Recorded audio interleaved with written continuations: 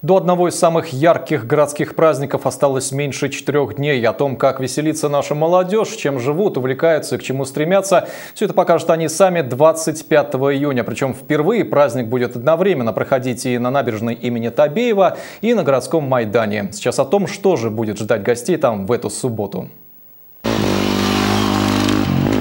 Гонщики спортклуба по мотоспорту сегодня утром, так сказать, оценили площадку, на которой им предстоит выступать в День молодежи. На что способен байк под управлением умелого фантазера покажет Данила Брагин и его друзья.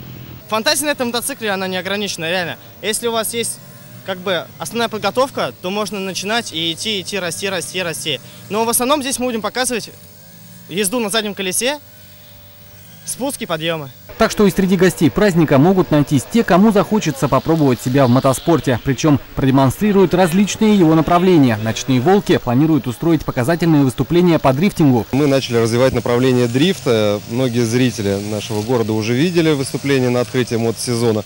Ну, это выступление мы покажем и здесь.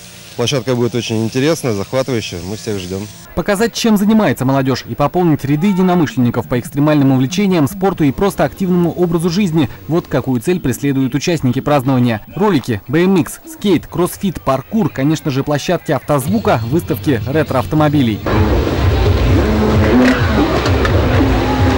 Тут же различные творческие мастер-классы и музыкальные состязания рокеров и хип-хоперов. Тех же, кому ярких впечатлений будет мало, на свою площадку приглашает РЕН-ТВ «Набережные Челны», где, как и год назад, телеканал устроит веселый фестиваль красок. 25 июня в 16.00 состоится финал проекта «Оранжевое настроение». Пройдет он на городской набережной парка Прибрежный, а именно в зоне фестиваля красок. Мы приглашаем всех, кто хочет получить заряд бодрости, позитивного настроения от программы «Хорошие новости». И это не единственное единственный сюрприз, который приготовил челнинцам холдинг СТВ Медиа. На Майдане праздничная программа начнется в 17.00. Сначала народ разогреют выступления местных артистов, потом на сцене загорятся уже поп-звезды уровня покруче. Сначала группа «Бандерас».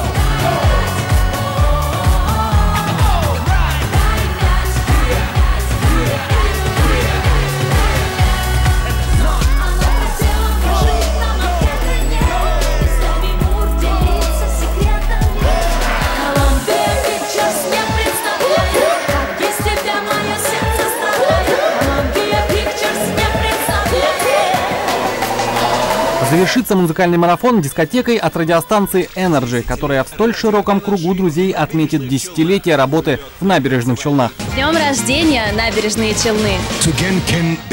Happy birthday. Кстати, дирижировать танцполом на городском Майдане как раз будет сам черный перец Саймон, который не раз признавался в любви к Автограду. Мне кажется, этот город, э, город молодежи тоже.